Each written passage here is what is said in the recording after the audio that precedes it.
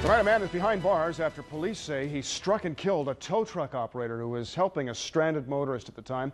ABC 6 reporter Lu Ann Stoia joining us now, live from the east side, where friends are remembering their colleague. Lu Ann? Killed while driving a tow truck like this one. We have learned that Jack Carpenter is the third tow truck related death in two years here in Columbus. And now the folks here at A&A Towing, well, they tell us helping people was Carpenter's life, and now they have a message in his death.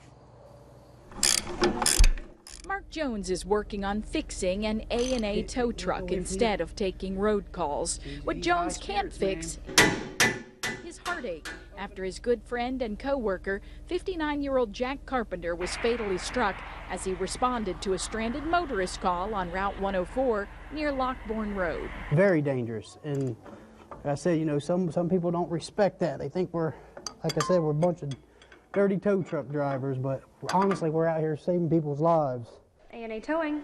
The dispatcher for A&A says people should learn from what happened to Carpenter, a 40-year veteran tow truck operator who lost his life doing what he loved. The law is to move over and slow down, and no one pays attention.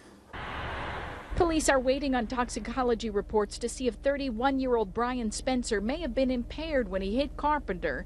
Investigators say the wrecker had its flashing lights on when Spencer failed to control his car and hit all four vehicles at the side of the road and Carpenter. In this case, uh, he was also found to be in possession of a considerable amount of narcotics. Drugs are an, an epidemic. I mean, it's it. too many impaired drivers. How do we stop it? Carpenter was not married, but at the towing company, people considered him family. They're hoping Spencer will be held accountable if he is responsible for their friend's death. And coming up at 6 tonight, why police say tow truck operators can be targets of impaired drivers. For now, we're live on the east side. Lu Ann Stoia, ABC 6 News.